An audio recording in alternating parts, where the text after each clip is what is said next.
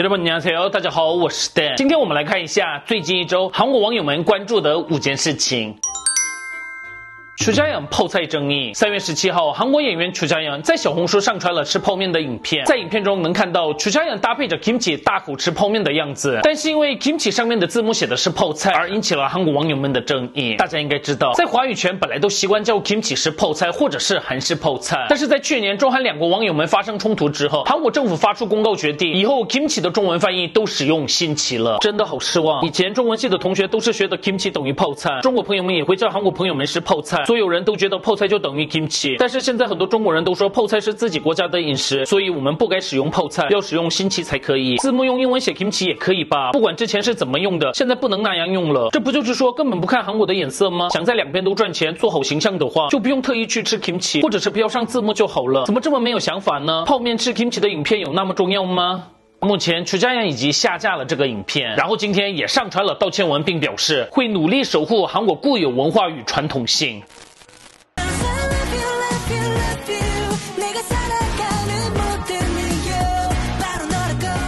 努力女团裴碧补，三月十七号，女团裴碧补出身的塔碧在接受 YouTube 可能 Olympic 频道采访的时候，爆料了裴碧补活动期间的辛酸生活。塔并表示，当时公司准备的宿舍连自来水都不出，参加行程的时候要到对面的理发厅借水用，然后在参加 u d 的时候，因为我们不红，现场也没有认识的其他艺人，公司也没有安排工作人员陪同，也没有自己一个人可以待的地方，所以就躲在厕所里了。还好有赞助的三明治可以吃，但是吃一吃觉得不舒服就没吃了。塔宾接着提到，之前跑活动的时候被喝醉的观众丢过酒瓶，然后有几位活动相关人士在拍合照的时候故意摸屁股，甚至别的成员也被摸了大腿，也有趁机想要亲嘴的人。我当时有跟代表哭诉，但是。代表却说他们是。能给我们其他行程的相关人士，所以绝对不可以拒绝。实在没办法，我们最后有跟公司请求，我们什么都不需要，只希望能够解除合约，但是。公司始终都没有放人。塔宾最后也表示，目前陪必补合约诉讼问题也快结束了，跟以前的成员们也有了新的活动机会，所以现在非常开心。疯了，是。怎么坚持的呢？这太惨了，年纪轻轻遇到烂公司，真的受苦了。乐色公司都倒闭吧，再不要做什么女团了。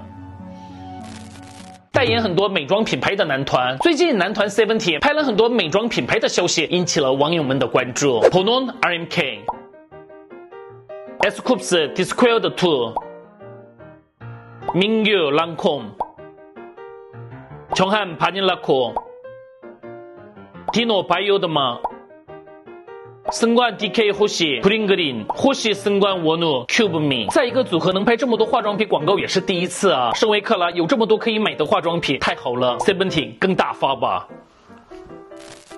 ？Red Velvet MV 中的名画，昨天以新曲《Feel My Ride》回归的 Red Velvet，除了这次的造型非常梦幻美丽之外，MV 中尹腾的名画也受到了非常多网友们的关注。我们马上来看一下。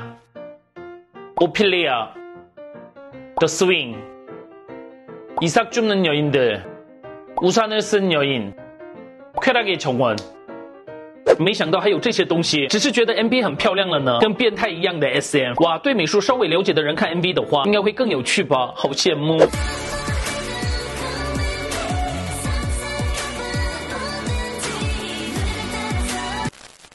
韩网集体疯狂的吻戏，在昨天播放的韩剧《三年马森卓》，曹红跟永策的吻戏让很多网友们都疯狂了，尤其是这个摘下眼镜的部分。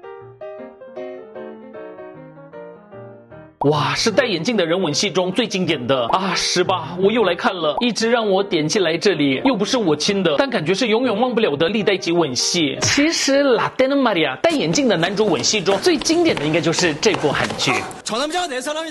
저 남자가 내 사람이다. 저 남자 내 애인이다. 왜 말을 못 하냐고. 이 꼴하고서 어떻게 그래요?